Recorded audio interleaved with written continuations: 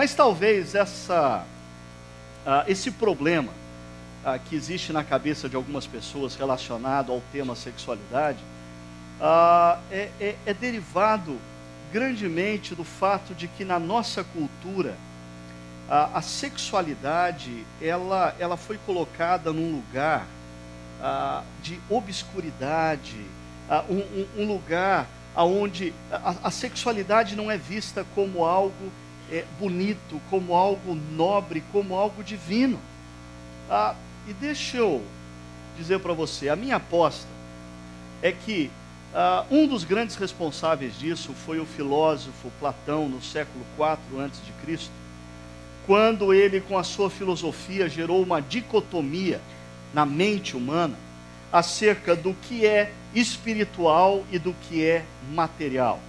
Ah, e também acerca do que é corpo e do que é alma. Ah, muitos cristãos leem a, a, as Escrituras ah, achando, com os óculos de Platão, achando que estão lendo de fato o que a Bíblia nunca disse.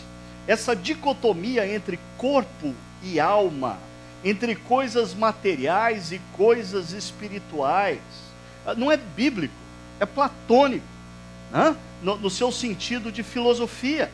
Ah, e Platão defendia que as coisas boas, as coisas perfeitas, as coisas divinas, ah, eram aquelas que pertenciam ao mundo, dos ideais ou das ideias. Ah, e tudo aquilo que é material foi criado ah, por, por, deuses supérfluos, logo era secundário, ah, não pertencia a, a, a, ao que existe de mais nobre em todo o universo.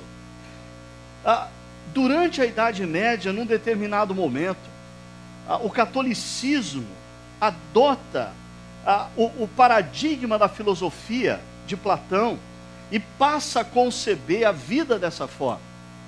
Tanto isso vai gerar algumas doutrinas que vão levar pessoas, por exemplo, ao alto flagelo, porque o corpo é visto como uma prisão do que é bom, a alma. E Deus não tem interesse nenhum no corpo, Deus só tem interesse na alma. Então o sujeito começa um processo de alto flagelo, de penitência, para eh, fazer reduzir a, a força do corpo e fazer prevalecer a alma que é boa. Isso é bíblico? Não, isso é platônico.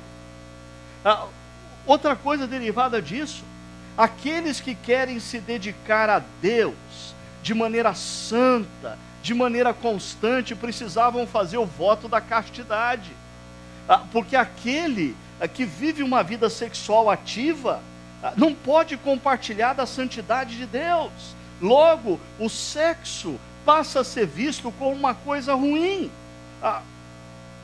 E, e, em muitas frentes, o próprio pecado original é interpretado como um ato sexual. Isso influenciou não somente a igreja, influenciou a mentalidade de homens e mulheres na nossa cultura contemporânea. Ah, deixa eu dar um exemplo dessa dicotomia do lado de fora da igreja. A música Amor e Sexo de Rita Lee. Olha o que a, a Rita Lee diz: Amor é cristão, sexo é pagão. Amor é latifúndio, sexo é invasão. Amor é divino, sexo é animal. Amor é bossa nova, sexo é carnaval. Logo, essa dicotomia ah, não é exclusividade da igreja.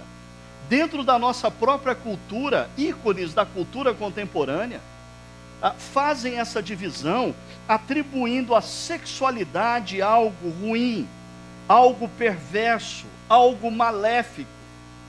Ah, e é assim que Deus vê a sexualidade? Não, de forma alguma. Ah, Deus é muito mais a favor do, que, do sexo do que a nossa cultura. E eu vou tentar provar isso para você.